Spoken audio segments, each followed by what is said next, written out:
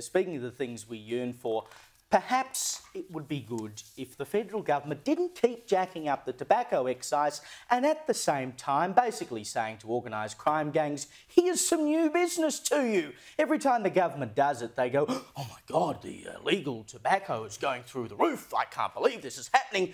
Maybe it's got something to do with you. And the boss of Ritchie's IGA in Victoria came out today, uh, Fred Harrison is his name, and said, This is actually starting to cost jobs in my supermarkets. We know exactly when there is a new illegal tobacco shop opening up down the road because our cigarette sales plummet. Some 1,000 new illegal tobacco shops have opened in Victoria in the last year. Gee, I wonder why. Maybe it's because a packet of cigarettes cost you $40 now. And, and, and here's some... It's closer to 50 It's crazy. More than 50 Here's some numbers for you, right? Between 2015-16 and 2020-21, the tobacco market shrank by 34%.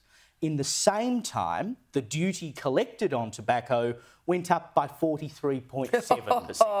what does that tell you? I mean, why do they reckon that the illegal tobacco market's going through the roof? Well, it tells you two things. It tells you that the government's campaign to get people to give up smoking is working, and part of that campaign is through higher taxes. And the second thing it tells you is that police should do their job. If it's illegal oh, to sell cigarettes on the black market, and if the local IGA guy knows where the local illegal cigarettes are, why don't the police know them? Why aren't they doing no, what it tells it? you is that the government is money hungry and they don't particularly care to stop you smoking. What it's they not want about is your tax. health.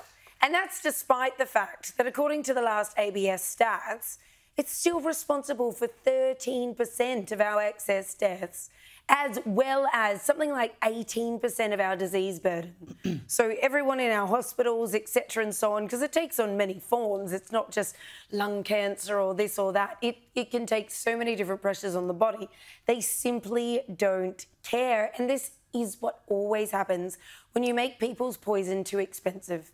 They'll just they'll just find a cheaper way. They'll Indeed. find a cheaper way.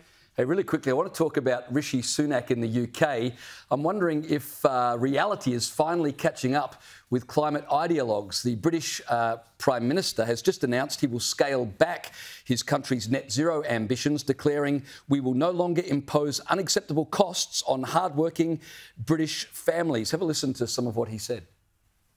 The proposal for government to interfere in how many passengers you can have in your car, I've scrapped it. The proposal that we should force you to have seven different bins in your home, I've scrapped it. The proposal to make you change your diet and harm British farmers by taxing meat, or to create new taxes to discourage flying or going on holiday, I've scrapped those too. And nor will we ban new oil and gas in the North Sea which would simply leave us reliant on expensive imported energy from foreign dictators like Putin. Liz, it's amazing how a looming election reminds politicians, though briefly, where their power actually comes hmm. from. I'm not convinced because, in my in my humble opinion, Rishi Sunak is very much a WEF man. He's he's from Goldman Sachs. He's of that ilk.